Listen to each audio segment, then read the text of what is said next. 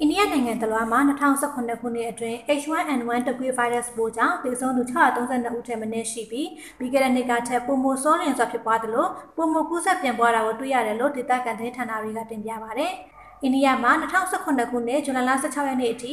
H1N1 ဗိုင်းရပ်စ်ကူးစက်ခံရသူ 13188ဦးရှိပြီးသေဆုံးသူ632ဦးရှိကမနစ်ကထက်ပိုမိုများပြားတယ်လို့အိန္ဒိယသတင်းဌာနတစ်ခုဖြစ်တဲ့ဇီသတင်းဌာနကတင်ပြပါဗျ။တမီးနာလူပြည်နယ်မှာ2018ခုနှစ်ဇန်နဝါရီလအစတင်ပြီးယောဂကူးစက်ခံရသူ3000နီးပါးရှိပြီးဒါဟာနိုင်ငံအတွင်းအများဆုံးကူးစက်မှုဖြစ်တယ်လို့ဆိုပါတယ်။မဟာရရှ်ထရာမှာတော့ယောဂဖြစ်ပွားသူ2938ဦးရှိပြီးသေဆုံးသူ300ရှိတယ်လို့သိရပါတယ်။ဂူဂျာရက်ပြည်နယ်မှာတော့ယောဂကူးစက်ဖြစ်ပွားသူ289ဦးရှိပြီးသေဆုံးသူ85ဦးရှိက